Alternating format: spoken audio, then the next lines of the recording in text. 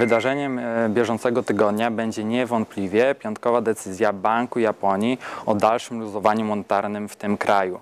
Według gazety Nikkei Bank Japonii ma dopomóc japońską gospodarkę, dosilając ją kolejną transzą do druku.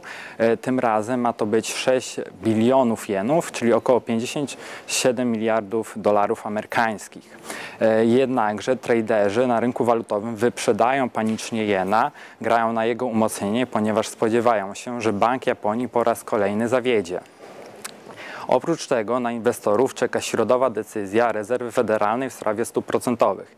Jednakże według kontraktów terminowych na stopę procentową prawdopodobieństwo podwyżki stóp procentowych w tym kraju sięga jedynie 8%, czyli większość osób spodziewa się, że stopy procentowe pozostaną bez zmian.